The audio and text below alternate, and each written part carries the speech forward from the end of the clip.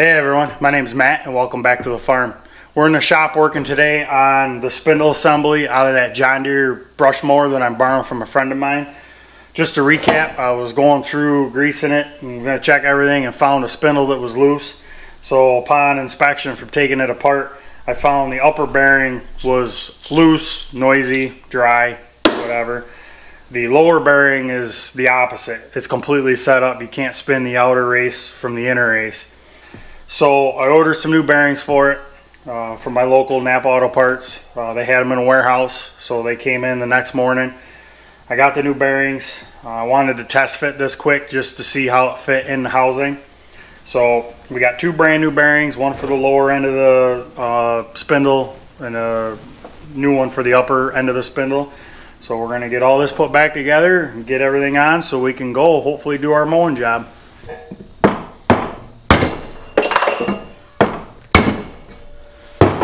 There, that's where it ought to be.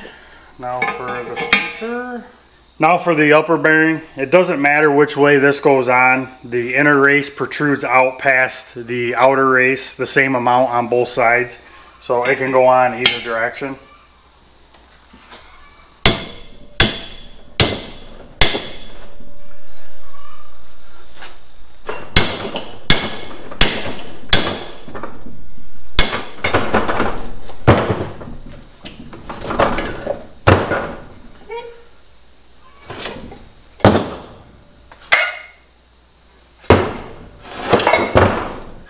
Got the spindle assembly mounted back on the mower deck. I got it supported up underneath with a floor jack because the spindle will slide back down out the bearings. So it's got four bolts that hold the spindle assembly to the mower deck. There's an adjustment plate that mounts on the bottom side of the mower deck on top of the spindle and that's where the single threaded rod is mounted to. This is your adjustment for your drive belt. So now we're gonna get the pulley put on. We got our key on. We're gonna get our pulley put on. Get it seated where it ought to be. There's another spacer collar here. And I gotta look at this because I don't think the spacer collar is deep enough in order to tighten this up. Meaning the spacer collar is shorter than what's left of the spindle. So when I throw the washer on here, there's actually an air gap between the spacer and the washer. So I need to look at a way of taking up that air gap to tighten up the spindle assembly. Well, I found a washer that fit in here pretty good. So we're gonna snug it down and see how everything fits.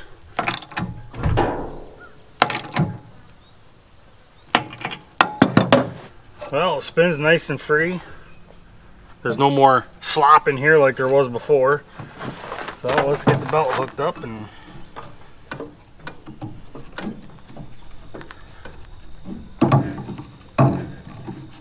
see if I can do this without pinching my fingers. There we go. Now we'll move on to fixing the flat tire.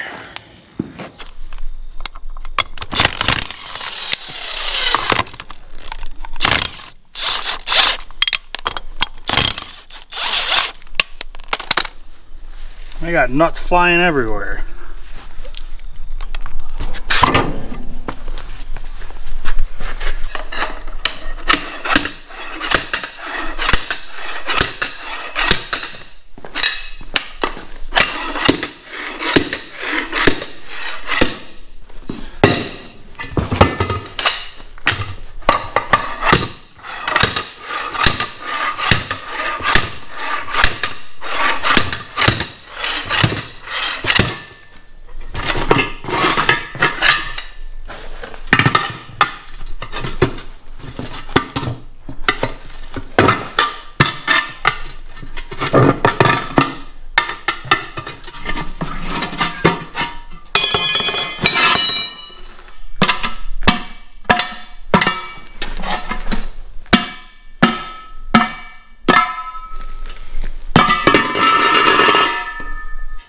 This is a 14 inch rim. The tire is a little bit smaller in diameter than the old one that I took off, but it ought to work.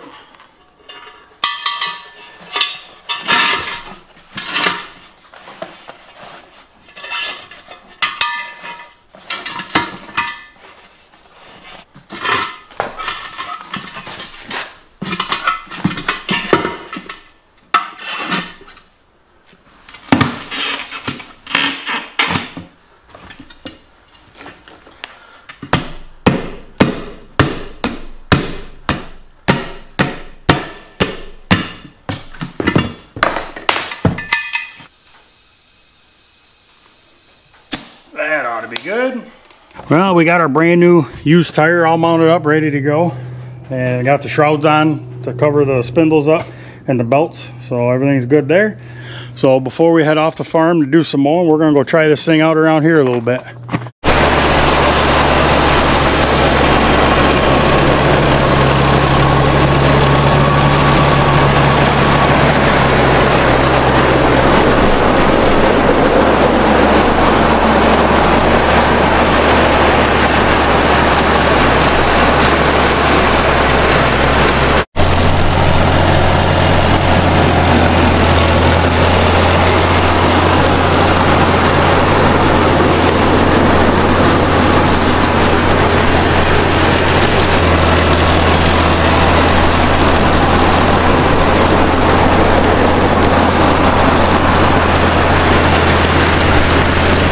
Well, let's see how everything looks after that little test drive.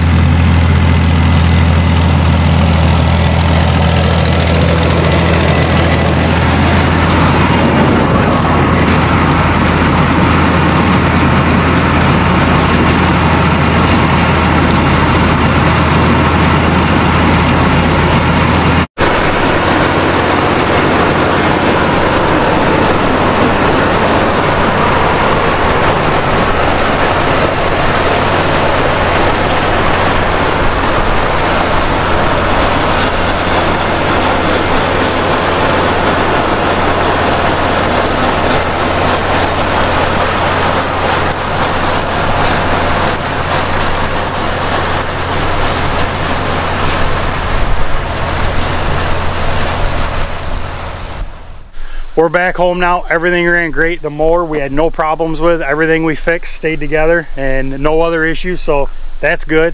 Tractor, same thing. That ran great as always. But it is inevitable. Every time you mow, you get a little bit of weed seed buildup in the radiator. So we got to blow that all out.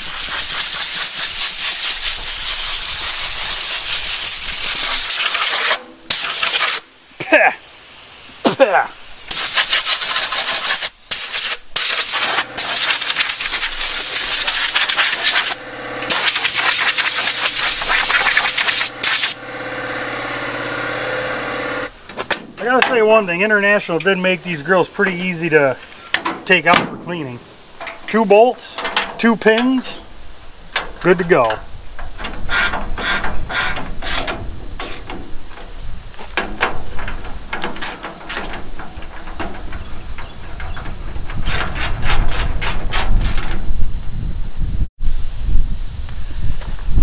We're gonna need this.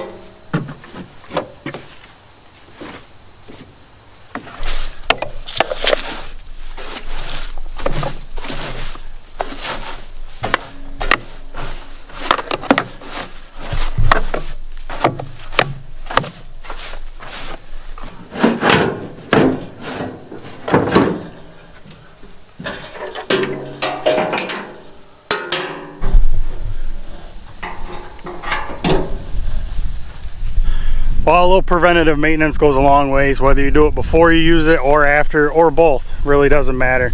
I'm not always the best at it, I'll be the first to admit, but I always try to do it when I can.